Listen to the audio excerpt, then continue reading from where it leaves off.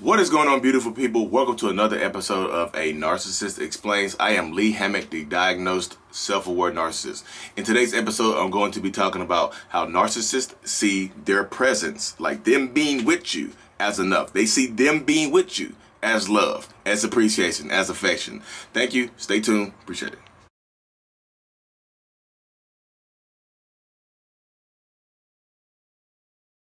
Hey, honey, how, how do I look?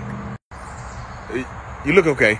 On, only okay. I spent I spent hours getting ready. This is your favorite. This is your favorite outfit of mine. Favorite outfit of mine. Like when have I ever said I liked anything that you wear? When we first met, you said I like when you wear that that blue shirt, and I, I have the blue shirt on, so it, it doesn't mean anything. It, it, doesn't mean anything now. Oh, yeah. I, when we first met, I was just saying stuff to make you feel good about yourself. I mean, that's that's what we're supposed to do, right? Yeah, I guess, but you're also supposed to keep doing it. Why do we need to keep doing it? Like I'm here, Art. Now, why, why do you feel like I need to give you compliments and tell you I love you and support you and stuff? I'm here, Art. Now, is it not? Is it not enough? Whoa! Why, why are you getting so upset? Because you're always complaining. You're so needy. You're always in your feelings. I'm not doing this. I'm not doing that. What else do you want from me? Silence. That for me, silence. That's what I love from you. I love when you're silent. I'll just be quiet then. So, welcome back, beautiful people. Like I said before, um, if you're new here, I'm Lee Hammock, the diagnosed stuff for narcissist. And you see my skits. I get into these skits, y'all. I get right into these skits. I got mentioned in the uh, the news site Upworthy. So Upworthy wrote an article about me. I'm a I'm a, I'm a tag it in the uh, it's in my bio. The link is in my bio for it already. But they wrote an article about the self-aware diagnosed narcissist using TikTok and social media to raise awareness, which is pretty cool, y'all. Um, but yeah, as you can see by that skit right there, narcissistic people don't like to pay you compliments.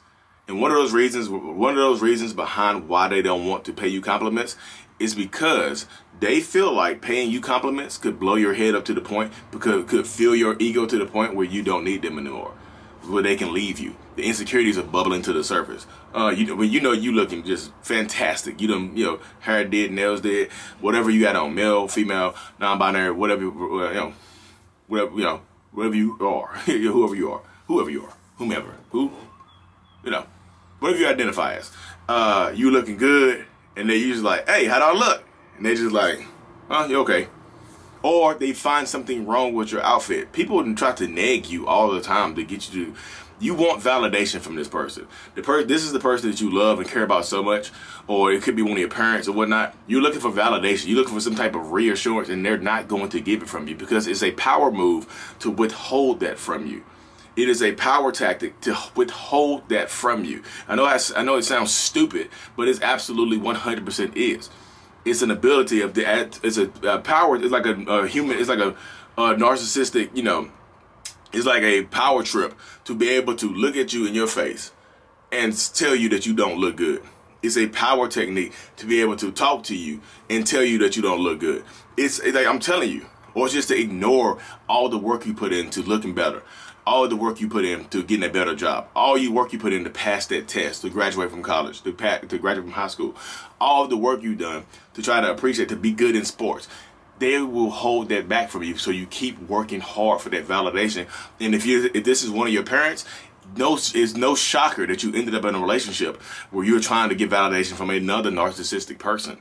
No shocker that you ended up here in a relationship with a narcissist that who won't validate you because guess who didn't validate you growing up? Mom or dad.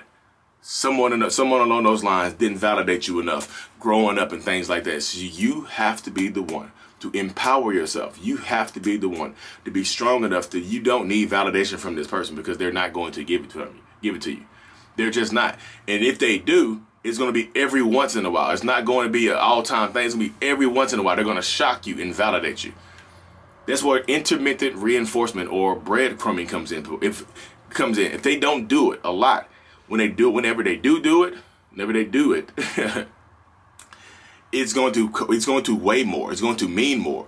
A hug means so much more if you haven't gotten a hug in three months, in six months.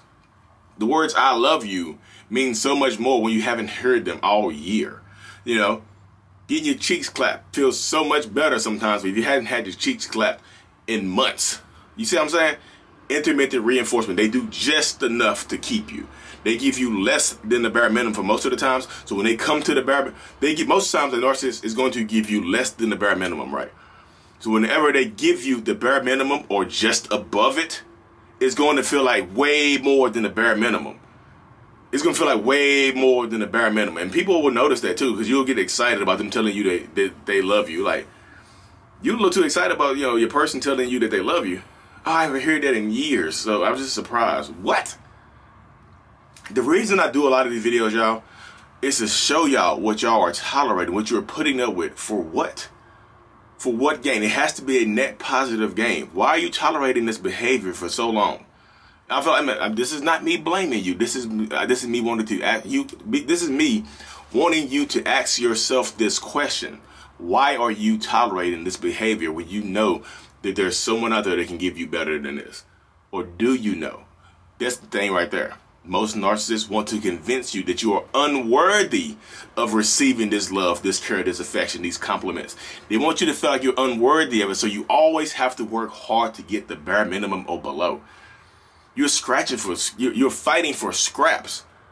You're fighting for scraps at the table of love and affection. For what gain? You fight so hard for, to hear the words, I love you. For what? For what? If or what are their actions saying? Because as, as a narcissist, you hear the end of the video, I'm here, art not. That means they love you because their presence is enough. Me being here means that I love you. Me helping pay these bills or whatever, whatever that whatever, whatever the dynamic is in your household means that I love you and I care about you and I'm affectionate affectionate towards you. You know, affectionate, affection, infectious towards you, affectionate towards you. You see, presence is everything. That's how I know you. What What is your love language? My love language is physical touch. My love language is gifts. Words of affirmation is mine.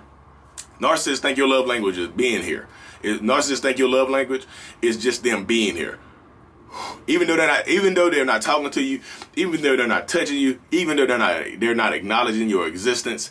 That means that they love you because they're still here, aren't they? Why do you need to hear I love you so much? You're so needy. You're so emotional you you ask for too much. Like, damn, I'm here or not. I'm telling you, look at this. Like, watch these videos, y'all, and understand what you are going through. Understand it, what you are tolerating, what you are dealing with, what you are staying for. What is this? Like, what are you? What, what's the game, y'all? I always need to know the game. Tell me the game. Put the game in the comment section, please. I need a net positive gain for the reason that you're still here. Just like uh, with the kids. Cool. I understand that. Think about those kids. Money, I understand that. Finances. Sometimes fi financial abuse runs rampant with narcissistic people. They want to control you money-wise too. Narcissists are all about control. They want to control how you feel, how you act, how you think, how you smell, how you touch, how you look, how you spend money. They want to control every single aspect of your life. They want to control you like a damn robot. Like, here's my little, here's my little empath. I'm controlling with my remote. Like, you ever see, you ever seen the movie Click with Adam Sandler? Shut up. Click fast forward. Click rewind. Click better change clothes. Click. They want to control every aspect of you. Just like, you know, they want to control your life. But you are in control of your life. I know a lot of people who watch this are Christian, so you your life is supposed to be controlled by somebody else. I thought you like I thought God gave you this free will. He gave you free, did he did God give you free will for only only for you to give it to someone else to give control of your life to someone else? Did he? I mean, if that's in the Bible somewhere, please put that. Please put that quote into the comment section. Please, please put the quote in there where God says, you know, your free will is gone. I know, I know slavery and stuff like that. I'm talking about, you know, in a relationship, your parents, whatever. You have no free will. You must do let this person control every aspect of your life. You don't even supposed to serve them. You're just supposed to exist. You know. But that's the lifestyle right there, y'all. This is what you have to tolerate. If you're gonna stay in a relationship with a narcissist, this is it right there.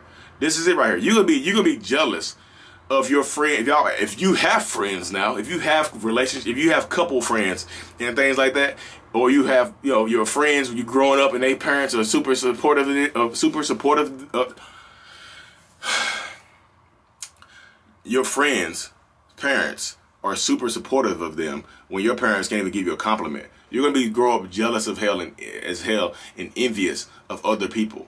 When you get in relationships, you're still gonna be jealous and envious of other people's relationships because it looks better than yours. They are better than yours because you are dealing with a narcissist that doesn't love, care, or appreciate you. the way that you deserve to be loved, cared, and appreciated for. You know, but that's my spill on this, y'all. Thank y'all for tuning in to another episode. Like and subscribe for more because, like, look, as always, like, you gotta like and subscribe for more because, as always, Mental Healness is out. Peace.